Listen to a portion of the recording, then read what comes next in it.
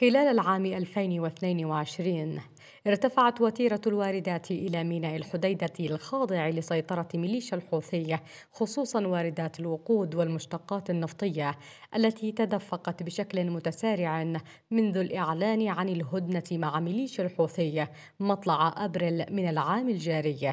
حيث تؤكد العديد من التقارير أن حركة تجارية نشطة شهدها الميناءان الخاضعان لسيطرة ميليشيا الحوثية خلال فترة الهدنة وحتى بعد انتهائها في أكتوبر الماضي.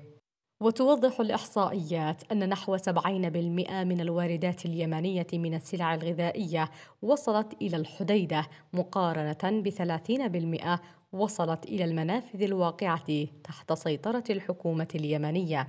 ويفند هذا التدفق المستمر للواردات عبر ميناء الحديدة. الادعاءات التي تتحجج بها ميليشيا الحوثية بأن مناطقها محاصرة والذي يبرز هذا الادعاء بشكل كبير أثناء المباحثات والمشاورات التي تجريها أطراف إقليمية ودولية. وتتغنى بها قيادات حوثيه من أجل استغلال الواردات الواصلة لأجل خلق أزمات معيشة وتحميل الحكومة الشرعية والتحالف العربي مسؤولية ما يجري من أزمات داخلية.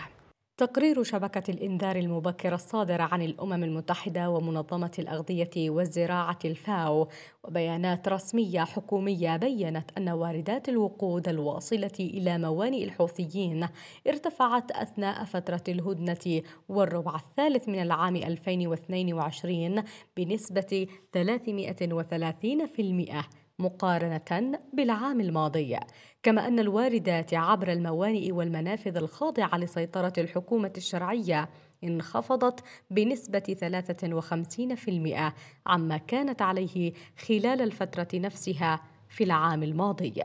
بيانات وإحصائيات دولية تؤكد أن نحو 3.7 مليون طن متري من السلع الغذائية الأساسية تم استيرادها منذ يناير وحتى سبتمبر 2022 ووصلت تلك السلع عبر جميع الموانئ البحرية والبرية الرئيسية في البلاد.